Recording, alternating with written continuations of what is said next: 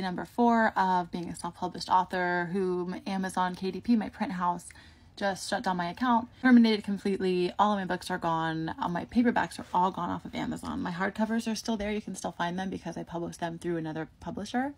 And they did so without cost. Suspended me about a month ago. You've been following along, you know all this. I got a warning saying you're suspended. You have to promise not to put any more bad books on our site again. And I was like, okay, I, pr- I promise. What did I do? What was bad about my books? What did I do wrong? And they wouldn't tell me. It was sensitive information. I repeatedly asked. Finally, my account was reactivated. Gave up. Day number four. Today, I am just continuing to send emails and snail mail letters. Continuing to make these videos, hoping that someone who sees this might have a contact at Kindle Direct Publishing. Maybe you look on LinkedIn and see, do I know someone from college who ended up working at Amazon? Maybe they know someone who knows someone if you're not comfortable like connecting us because they're too distant, if you could even just tell me who they are and I can kind of try and track down where they work. I love being a stalker. Just give me the chance. If you have any insight how I could get an actual person to look at my case, I'd be grateful.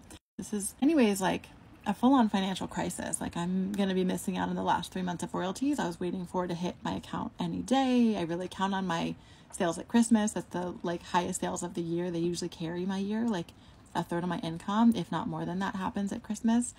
So it's a big chunk and it's really easy to get into a lot of fear. And I definitely have my moments, but overall, I'm sort of just trusting that this is not like in a gaslighting way, like, oh, I'm so grateful. Everything happens for a reason, but like in a, okay, if this is here to teach me something, is this is, if this is here for me somehow, what is this here for? And here's my lunar calendar um, right now I'm making it mean that I need to lean into something I've been thinking about doing for a while, but now I'm getting more serious about, which is finding a traditional publisher. I've had a lot of luck and success self publishing. There's a lot I loved about it.